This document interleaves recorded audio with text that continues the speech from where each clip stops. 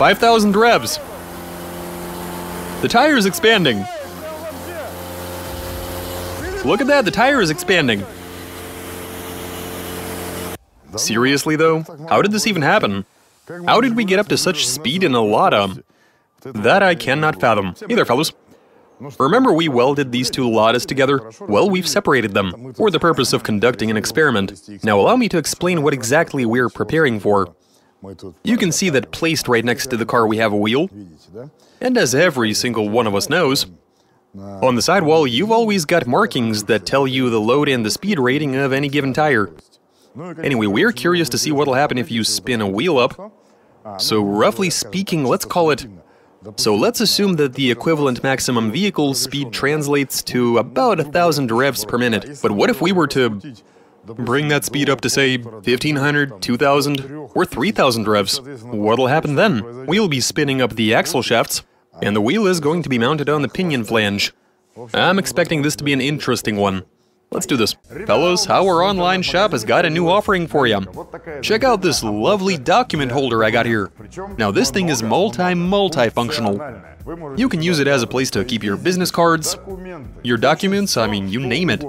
As for this item's quality, well, let me show you. Now this is my personal holder where I keep my very own documents. I've been carrying this around since 2019, which makes it two years that I've been using it. If you look over here, you'll see a small inscription that says Garage 54, see it? Now this you can have custom done. It can bear your license plate number, your own name or your spouse's name if you like, anything your heart desires, and whatever brings a smile to your face. So yeah, now we offer these really sweet document holders. All of the links you'll find in the description. Go ahead and get yourself one of these. What happens to a tire at 620 kilometers an hour or 385 miles per hour? Translation and voiceover by BMI Russian. Check out what I've got here, fellas. We've recently purchased this non-contact tachometer, which you can use for counting the revs. And now we look on. The engine is turning at idle, and the wheel is rotating at a rate of 122, 123 revolutions per minute. It's working right now and it's showing us 98, 99.5, 98.6, and now it's 100. Holy cow, 99 again? Okay, now I suggest we jam the other wheel. Can you hold it, Vlad? And right away it speeds up. There you go, 200 revs, 201, 203, 202. There is a slight margin of error, but we were seeing 100 revs, and after stopping that other wheel, this one is now showing 200. Now I suggest we try... Let's go ahead and bring the speed up to 50 k's on the speedometer. See how many revs the tach shows us. And while maintaining a constant speed, we try stopping that wheel to see what happens over here. One wheel is going to be blocked anyway, so now we just need to check how fast this one is going to be rotating. We need a baseline figure in order for us to be able to do some rough calculations. So 50 kilometers an hour, and the wheel is doing 455, 456 revolutions per minute. At this point we multiply that by 2, which gives us about 900. Let's check and see if you can stop that wheel Maybe not with your hands, though.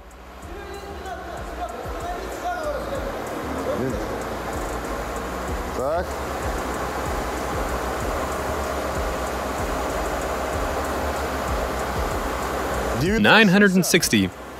We got the gauge. And so, now it's time to throw something together and spin that wheel up to maximum velocity to see what happens. Let's do this.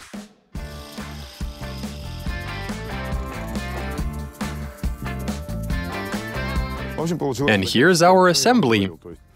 Like I said before, we connected one axle to another and fitted the wheel to the flange on the differential. Here's what's interesting about all of this. Now because we've got everything the other way around essentially, even when I slowly turn the axle, see how much faster the wheel is rotating? We've got a higher output speed. I think we worked out that it's either 6 or 8 times higher. It's a lot. So this is a studded winter tire, and the index is 75T. with 75 being the load rating. 387 kilos. There is a bit of extra durability built in. I want to say it's 30%. As for the T, that's the maximum speed the tire was designed to do, which is 190 Ks. So 100 kilometers is 900 revs, as we've established during that run inside our facility. Meaning that the maximum speed of 200 kilometers an hour requires that we get the wheel up to 1800 revolutions per minute. I think it's time we begin. Now, in order for us to find out how much we increase the output speed, maybe just try the starter? I think, yeah, without firing up the engine, we throw it into first and spin the starter. See whether it's healthy enough to get things moving. I think it will be. Plus, we'll see how many revs it'll turn just on the starter.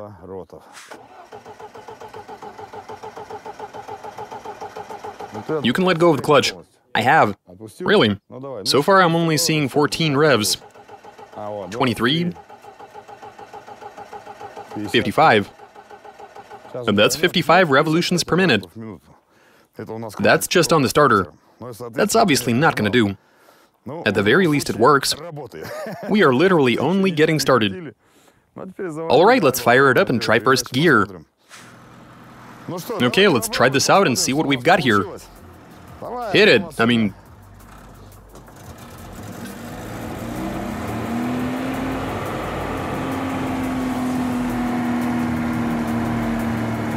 That's about 650, 620, 700.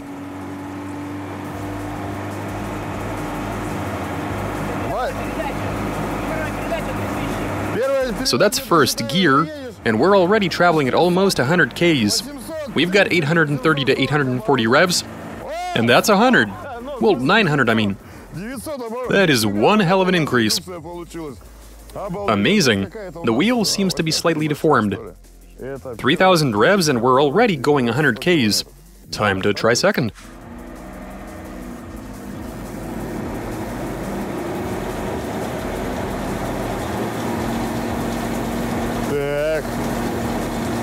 The whole thing's vibrating. 1100.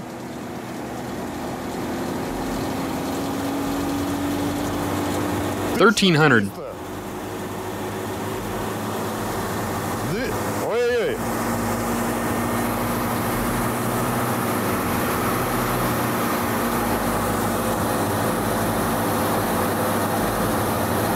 Let's call it 1600.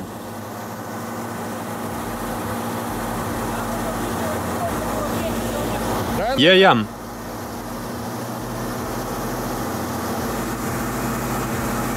Eighteen hundred, that's not bad.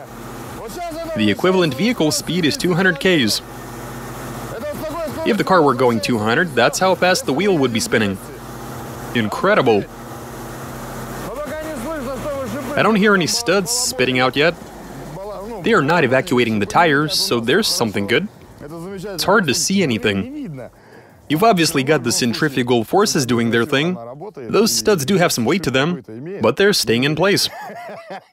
So far, anyway. Okay, fellows, so the guys have convinced me that it's probably a good idea to step away. We've got a camera over there anyway, so I can just keep track of that wheel's rotation on this here screen. Right, so we've been up to 200 in second gear. Let's see how fast we can go in third. I'm expecting 300.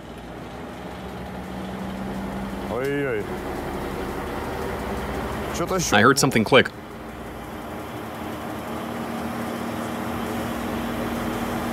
That's already 200. Let's bring the speed up some more.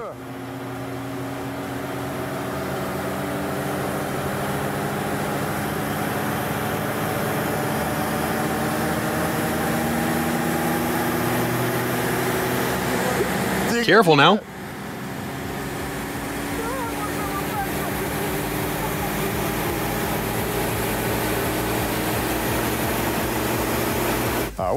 We were able to bring the speed up to 300 in third.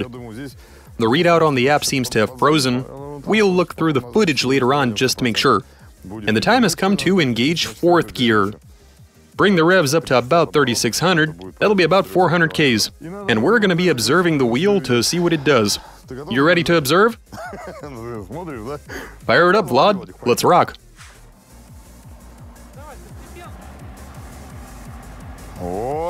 That's what I'm talking about. Looking good.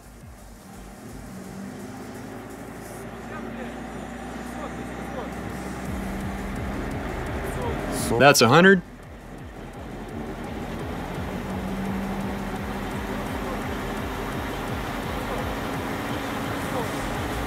We're approaching 200.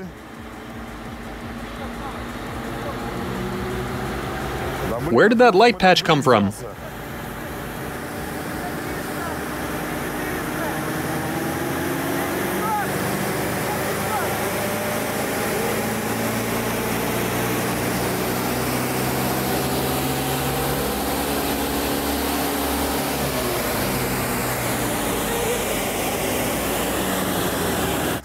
Now, if we were to believe the gauge, it did fall over at some point, but it was able to record the highest figure. Anyway, so we saw 4,200 revolutions per minute, meaning we got up to way in excess of 400 Ks. Let's try getting up to top speed. Can it handle fifth gear? So fifth gear, and give it everything it's got, brother. Let's do this. Let's see how fast we can spin that up. Second, third,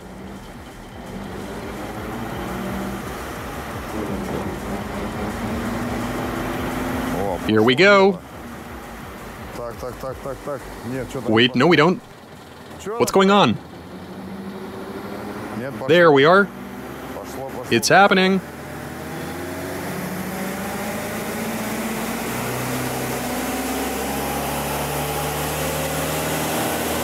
It's creating quite a bit of wind. 5,000 revs. The tire is expanding. Look at that, the tire is expanding. Holy cow. That's enough.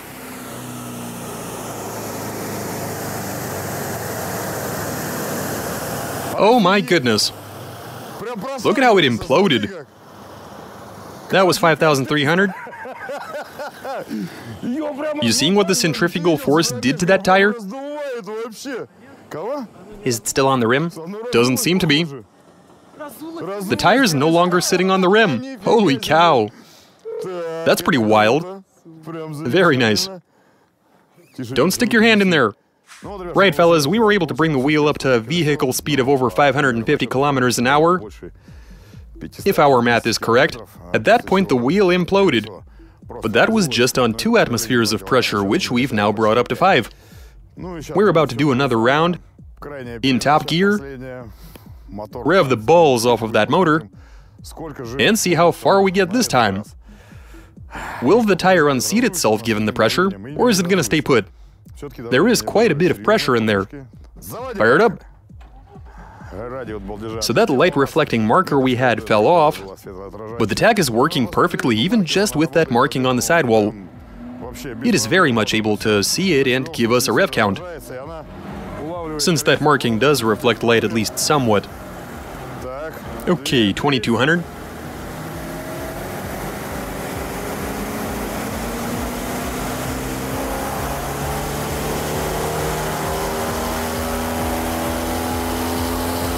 Five grand.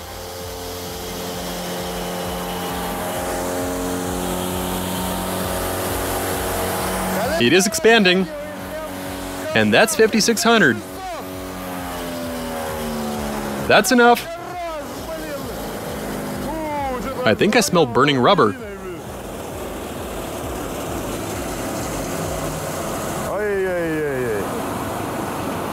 Something's definitely wrong. We have a situation here, guys. I have no idea. What happened here? Leave it alone, Serge. The cord is torn. You're right, we've got a bubble. Holy cow.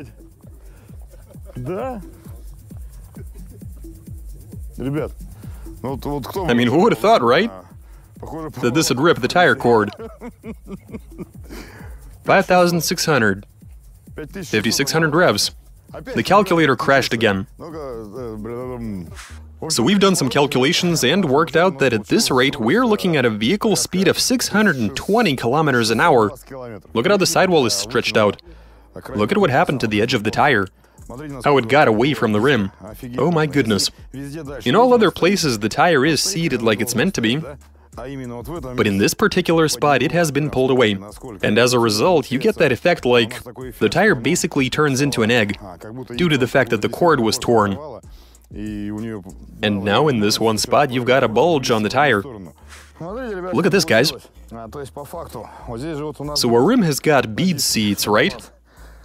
Which are meant to keep the tire in place. So we've all been to tire shops and seen tires being inflated, and the incoming air is what seats the tire. With this one though, I can do that using just my bare hands. On one side, and on the other. Pull it off, press it on, pull it off, press it on. That's it. There is no way that you can drive on this tire now. So now we've got it on the tire mounting machine, and it is not supposed to do that. I mean, what is this? I mean, using just one finger to seat and unseat a tire, don't tell me I can remove it like that.